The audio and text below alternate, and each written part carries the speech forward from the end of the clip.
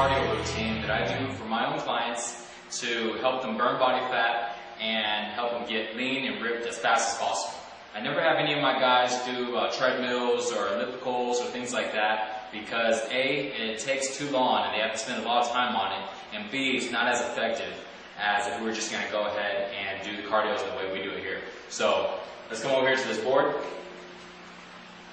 First thing we're going to do, this is only going to take nine minutes, okay? This doesn't require uh, any type of uh, machines at all. So first thing we're going to do is jumping squats. We're going to do 15 seconds of this, and then we're going to move on to side-to-side push-ups. And we're going to do 15 seconds of those, followed by towel rolls. Now, I'm not going to use a towel today. I'm just going to use a t-shirt, but you can use a towel or a shirt if you like. And 15 seconds of those. We're going to go into a towel squat and raise. 15 seconds. And the last thing we're going to do is half burpees, and we're going to do those for 15 seconds. So make sure you do them all together, non-stop, and afterwards you're going to rest for 60 seconds, and then you're going to repeat it for a total of four sets. It's going to take you exactly about nine minutes to finish.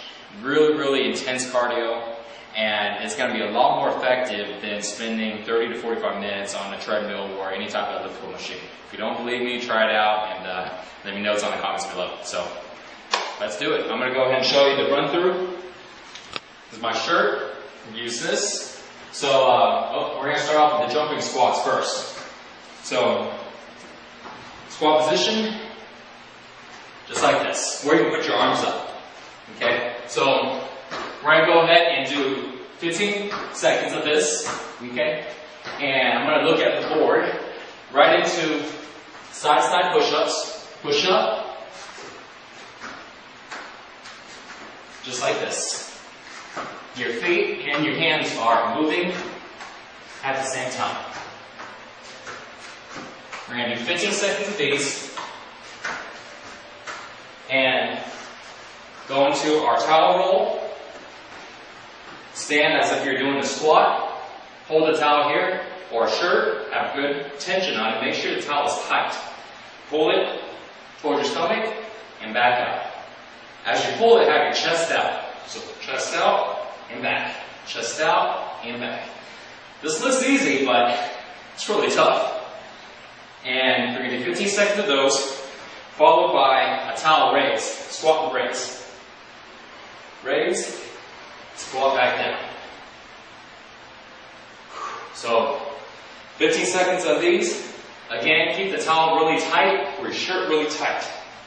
So make sure you have tension on it. Last thing we're going to do is half burpees. Feet together, hands here. Come in and out. In and out.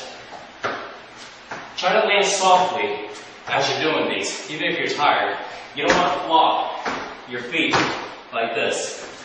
You want to come in soft and come back soft so you can really engage your core. So, after you do that, you're going to rest for 60 seconds, repeat it three more times.